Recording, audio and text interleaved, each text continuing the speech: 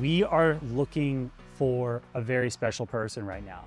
The Bread Loaf team is growing and we are in the process of hiring a director of marketing that can lead strategy and planning for our portfolio of D2C brand clients. We're looking for someone that's got a background in D2C, retention and lifecycle marketing across email, SMS, push, and direct mail.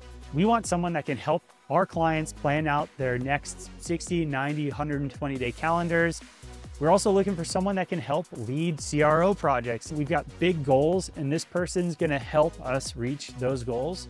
We're looking to grow to over 100 clients over the next year, and this role is gonna help us get there. So if you're an A player that wants an opportunity working with a fast growing established agency, send us over your resume, a cover letter on who you are, what you do. Also send us your socials, send us your LinkedIn, your IG, any type of case studies that you worked on in the past, and also put together a minute to, to minute 30 video describing why you want this job. If this sounds like this role is for you, please don't hesitate to apply, and I look forward to following up with you soon. Thanks.